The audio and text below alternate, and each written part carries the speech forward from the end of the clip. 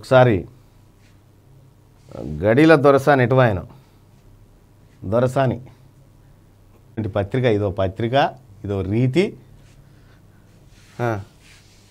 Drugs కేసులో సినీ తారలకు ED నోటీసులు ఎవరి పోటు ఇది? ఆమెది. ఎవరు చేయను వాళ్ళదే వేస్తారు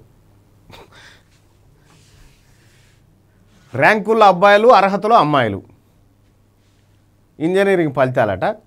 బీజేపీపై తిరగబడ్డ దళిత బిడ్డనట. జమ్మికుంట మండలం ఆ రంగు మారిన బీజేపీ ప్రచార రథాన్ని అడ్డుకున్న దళిత బిడ్డలట. అగో. ఈ అడ్డుకుండట. దళితవాడల్లో లొల్లి పుట్టిస్తారా?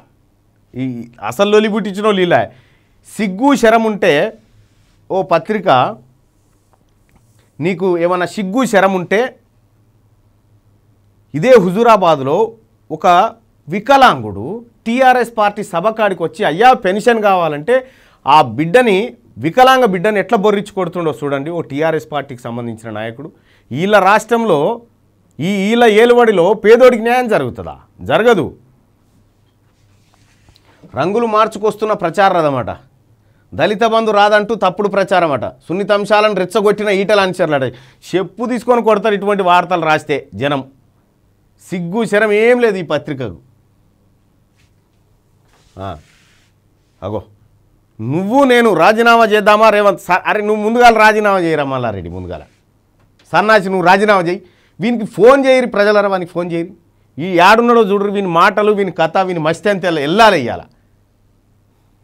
దాని మీద నెంబర్ కూడా ఉంది చెయ్యి నువ్వు నేను రాజీనామా చేద్దామా?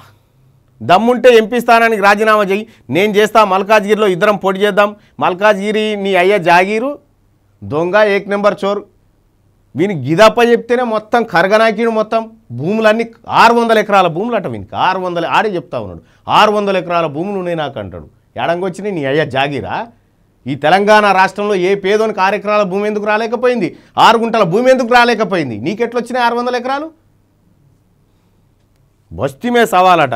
రాత్రి పోత పోత డ్రైవర్తోనే జెండు బాంబు తెప్పోరు ఇదంతా ఆసిందట. కొట్టుకో ఇట్లా వచ్చిందిగా ఆసిందట.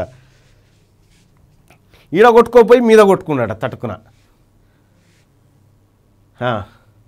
నీటి వాటాలపై బలంగా వాదించండి. బలంగా బలే బలంగా వాదిస్తారు.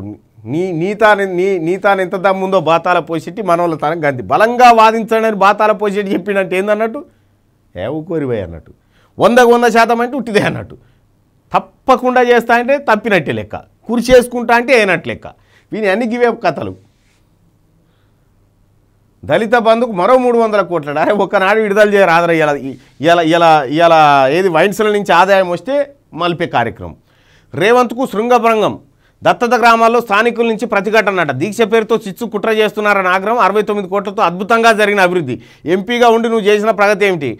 కన్నుండి కబోదిలో వ్యవహరిస్తున్న పీసీసీ అధ్యక్షుడు. ఏరియా మరి ఒకవేళ శృంగభంగం అంటే ఏది?